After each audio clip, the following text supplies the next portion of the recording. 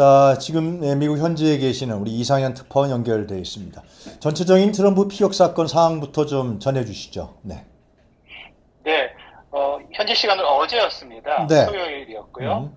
펜실베니아 주에 있는 경합주죠. 스윙 네. 스테이시라고 불리는 펜실베니아 주에서 그 농촌 도시에서 유세를 트럼프 대- 전 대통령이 유세를 하는 도중에 네. 그 총격이 발생했고요. 예.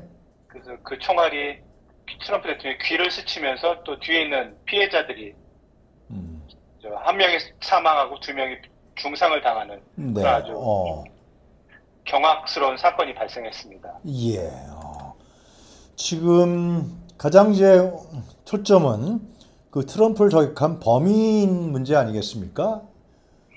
네, 그렇습니다. FBI에서 이 범인이 누구다? 범행 동기는 보도를 살짝 한 것 같은데요, 그죠? 어.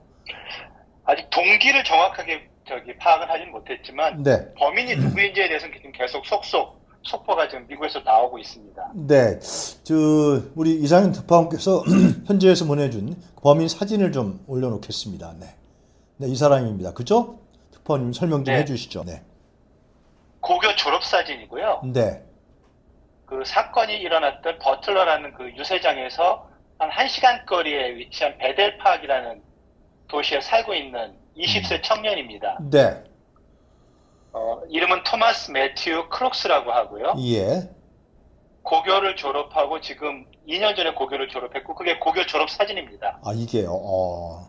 우리 네, 그- 졸업 우리, 앨범에 나와 있는 사진이고요. 우리 국내 언론에서는 처음 보도되는 것 같습니다. 특파원께서 보내주셔갖고, 네, 네네 그 저기 그 베델파크 그 고교에서 직접 publish를 한 겁니다. 아, 네, 제공을 한 겁니다. 네, 음, 기자들한테. 예, 그래서 굉장히 앳된 얼굴이고요. 그러네요. 음.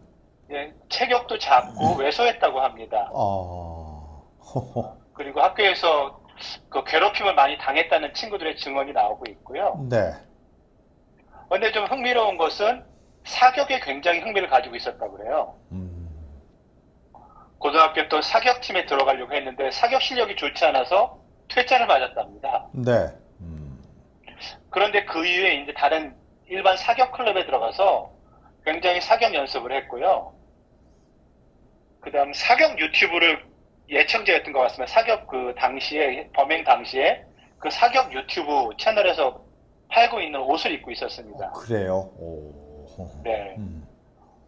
어, 무엇보다 그 범행에 사용한 총기가 AR-15이라는 미국에서 가장 그 총기 난사 때 많이 사용되는 그 소총이거든요. 네. 이거 이제 군대, 한국에서 군대 다녀오신 분들 잘 알겠지만 이건 M16입니다. 아, 한국에서 그래요?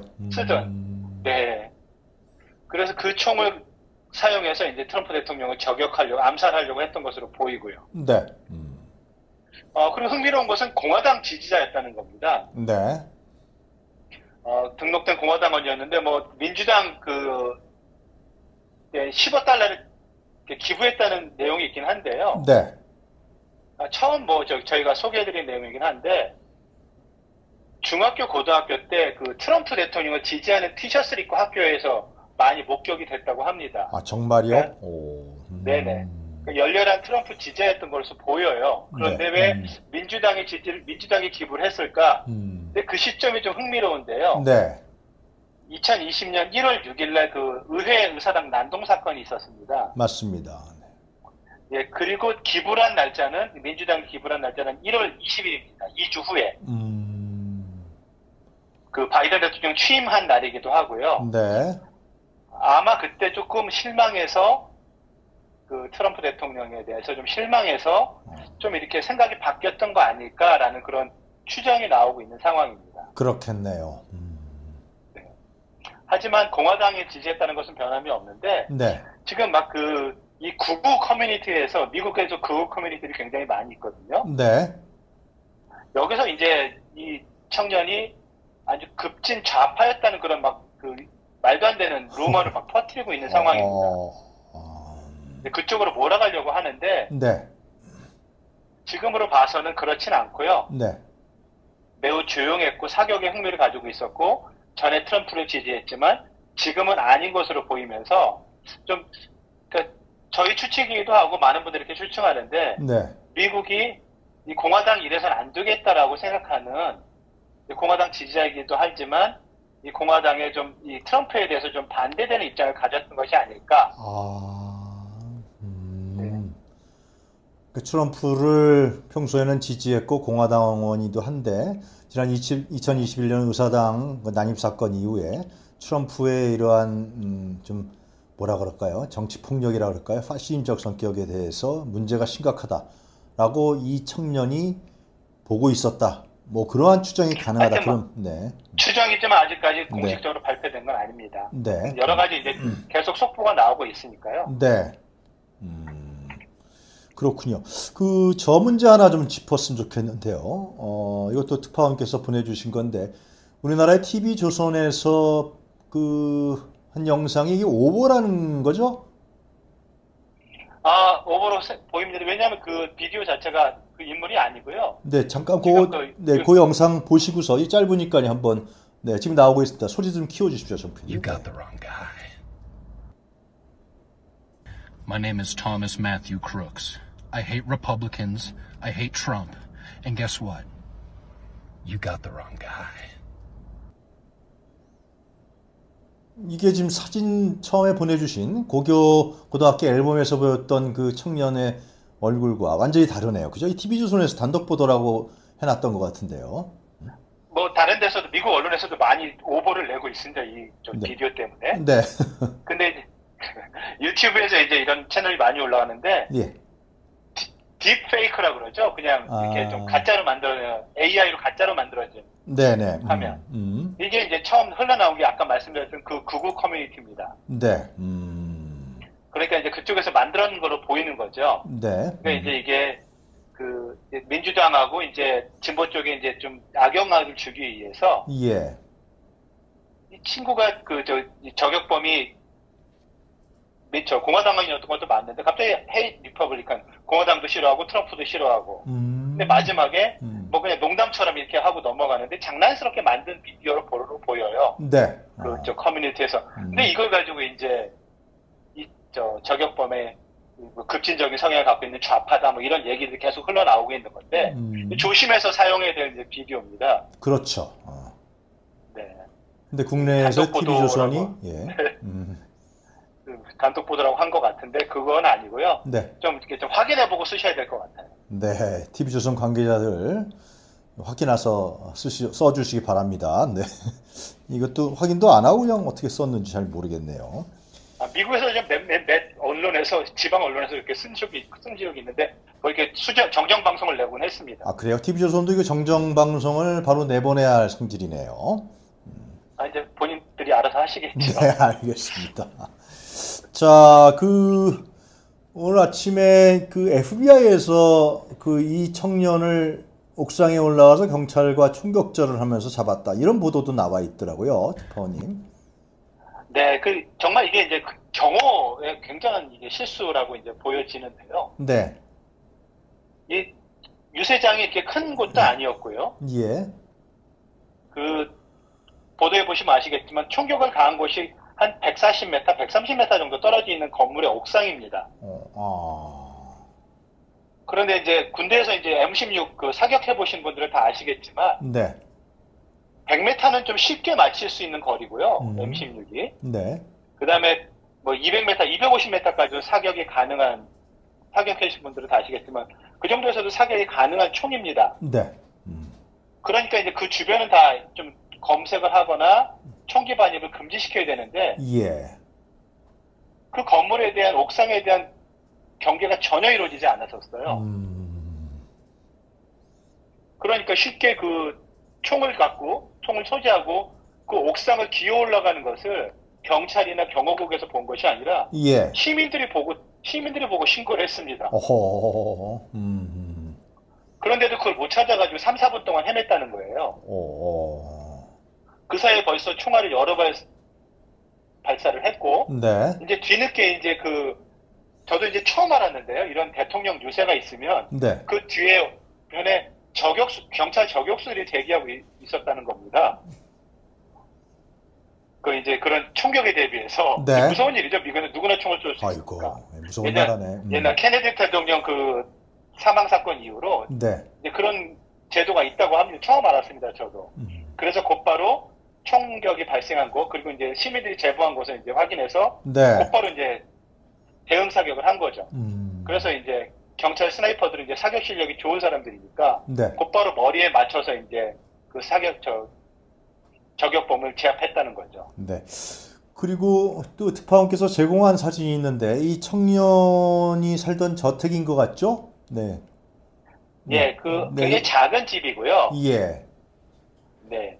그 부모와 같이 이제 살았는데 네. 보통 이제 고교를 졸업하면 집을 떠나는 게 이제 미국에서는 보통인데 어, 그래요. 음. 예, 대학을 진학했다는 이야기도 있고 전문대에 갔다는 얘기도 있는데 네. 하여튼 대학을 졸업하고 이제 그 양론에서 일을 했다고 합니다. 이 친구가 어. 음.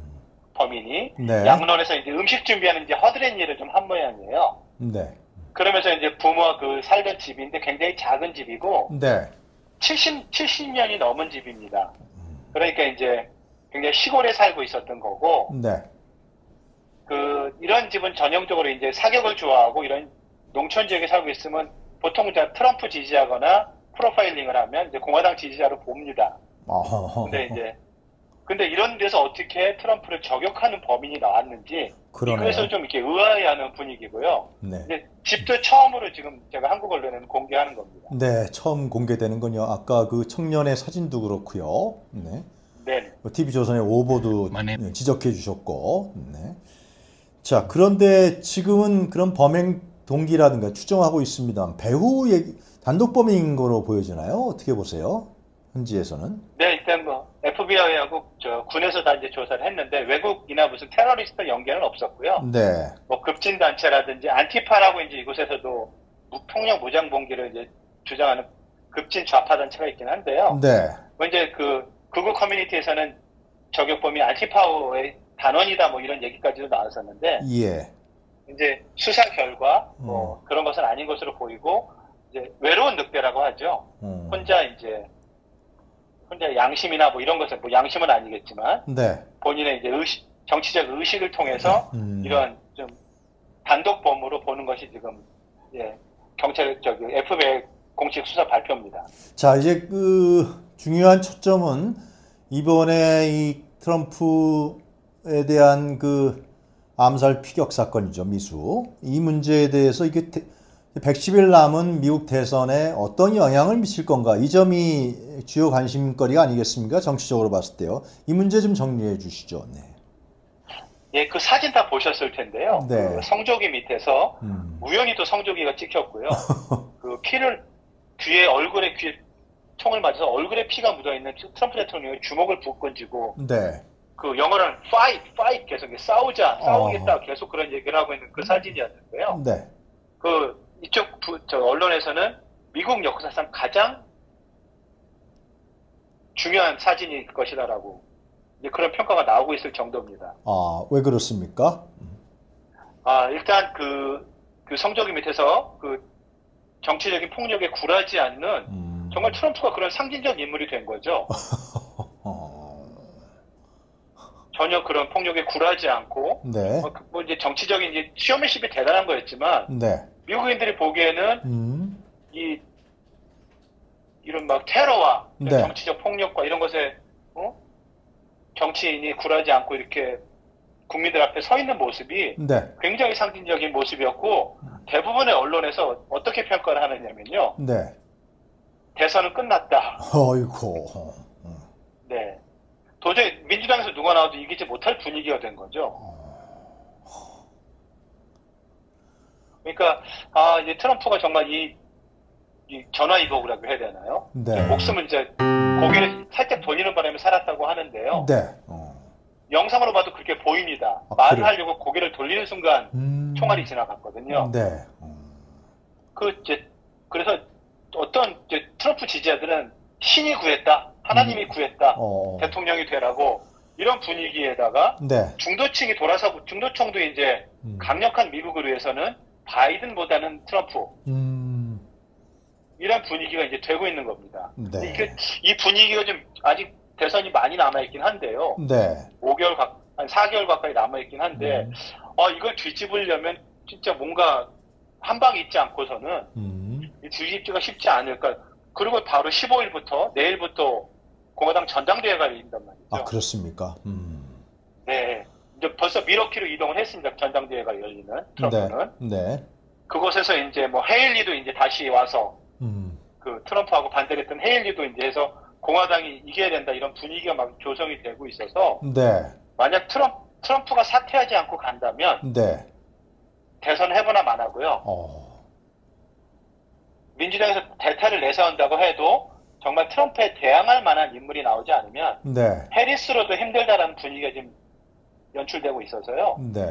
아 정말 민주당으로서는 정말 정말 죽을 마실 겁니다. 그러네요. 그러나 또 중요한 또 사실은 이러한 정치적 폭력이라든가 또 민주당과 공화당의 정치적인 분단이라 그럴까요? 이런 점을 지적하는 언론도 있는 것 같던데요. 제가 꼭 말씀드리고 싶었던 것이 그건데 미국이나 한국이나 네. 상대방을 증오하는 음. 국민의힘에서는 민주당을 증오하고 민주당에서는 그쪽 보수 진영을 증오하는 이런 언사들 있지 않습니까? 네네. 음.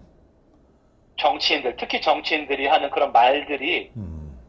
이재명 대표가 피습을 당해서 한국도 이런 아픈 이런 상처가 있지 않습니까? 그럼요. 예. 네. 미국에서 지금 그런 얘기가 계속 나오고 있습니다. 음. 트럼프가 시작한 이런 상대방에 대한 공격을 음. 민주당에서도 하고 있다는 거죠. 어, 어. 네. 그 바이든 대통령이 그런 의도는 아니었지만 네. 트럼프를 관, 관역의 정중앙에 놓아라라는 말을 했었거든요. 물사이라는 말을 했었거든요. 아이고. 어. 뭐 그게 그런 그런 이제 이디엄 수거가 있기 때문에 관역구가 있기 때문에 네. 음. 총을 쏘라는 얘기는 아니었지만 네. 그 관역이라는 말 자체만 띄워놓고 이제 공화당에서 공격을 하는 분위기거든요. 음. 그러니까 단어 선택 하나에도 조심을 해야 되는 것이 정치인이라는 겁니다. 네. 그- 근데 음. 한국 정치인들이 그러고 있는지 음. 은연 중에 이런 정치 폭력을 조장하고 있는 건 아닌지 네. 네 그걸 좀 조심하고 네. 좀 자기 성찰을 해야 될 때가 아닌가 싶습니다. 네, 알겠습니다. 자, 하여튼 이 문제가 어떻게 진전되는지 또 조만간 우리 특파원님 바쁘시겠지만 지금 그 조지 안주 애틀랜타는 밤중이죠? 어떻게 됩니까? 시간이? 아 오후 8시 아, 33분입니다. 그래요. 오늘 새로운 사실들 어, 그 범인의 인상착이라든가 고교 앨범 그리고 TV조선의 오보 이런 부분들을 다 지적해 주셔서 대단히 감사합니다. 자, 오늘 말씀 잘 들었습니다. 고맙습니다. 네 감사합니다. 네, 고맙습니다. 네.